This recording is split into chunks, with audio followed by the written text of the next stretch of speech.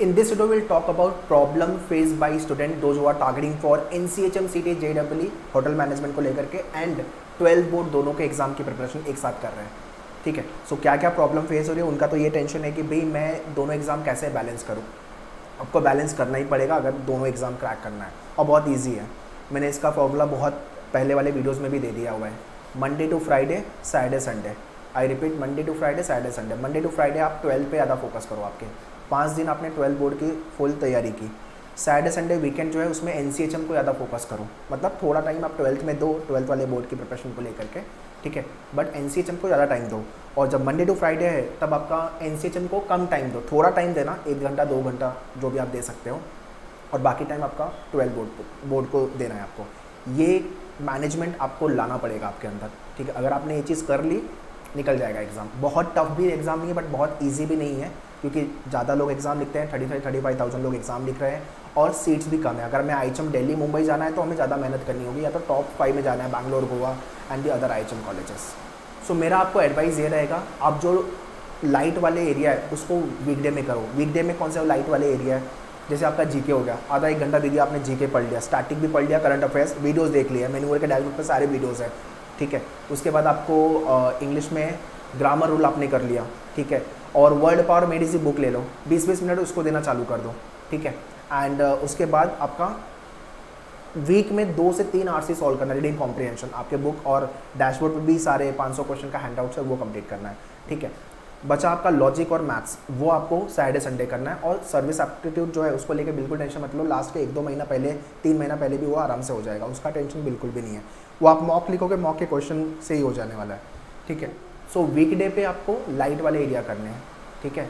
GK कर लिया आपने इंग्लिश कर लिया मतलब दो घंटा लगा के। हाँ newspaper reading I recommend आप इंडियन एक्सप्रेस से चालू करो आपका reading page one current affairs update हो गया एडिटोरियल पेज रीड करो, उससे आपकी इंग्लिश बहुत अच्छी हो जाएगी। अभी नहीं, आप होटल मैनेजमेंट करके जब आगे जॉब के लिए जाओगे इंटरनेशनल जा रहे हो या नेशनल बिज़नेस डील के लिए जा रहे हो या तो तो वो फ्यूचर में आपके प्रोफेशन पे भी काम आने वाला है। तो इंग्लिश आप उस पर काम कर ही लो, ठीक है? Without fail right now weekend पे आपने मैथ्स और लॉजिक रखा हुआ है। तो कोशिश करो कि ये दो एरिया मान लो कि मैंने प्रॉफिट लॉस प्रिपेयर करना है और कोडिंग डिकोडिंग लॉजिक से करना है।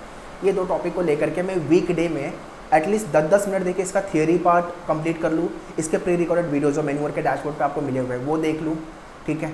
सो दैट सैटरडे संडे जब मैं बैठूँगा तो मुझे सीधा सॉल्व करना है क्वेश्चन फ़र्स्ट थर्टी क्वेश्चन आपके बुक के सॉल्व कर लिया, बहुत हो गया। दो बार सारे क्वेश्चन कर लेना सेम टाइप के क्वेश्चन एग्ज़ाम में एज इट इज़ आने वाले हैं, ठीक है?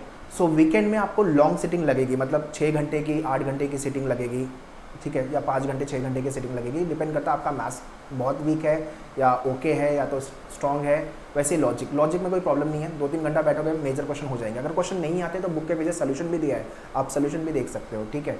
बट हाँ आपको प्रैक्टिस करना पड़ेगा एग्ज़ाम क्रैक करने के लिए। तो आप दोनों एग्ज़ाम को बैलेंस इस तरह से करो। वीक डे में आप ज़्यादा टाइम लगाओ, आपके ट्वेल्थ बोर्ड और थोड़ा टाइम लगाओ N C H M J W preparation को लेकर वीकेंड में थोड़ा टाइम लगाना है ट्वेल्थ बोर्ड को लेके और ज़्यादा टाइम लगाना है N C H M C T J W को लेके। सिंपल है, ठीक है?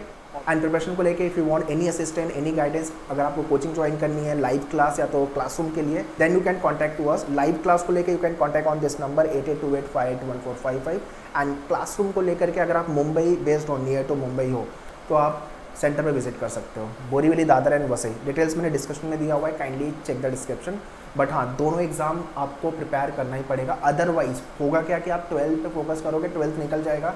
एन में रैंक कम आएगा तो लोअर आई मिलेगा। और लोअर आई मिलेगा तो प्रॉब्लम है फ्यूचर में प्लेसमेंट को लेकर के।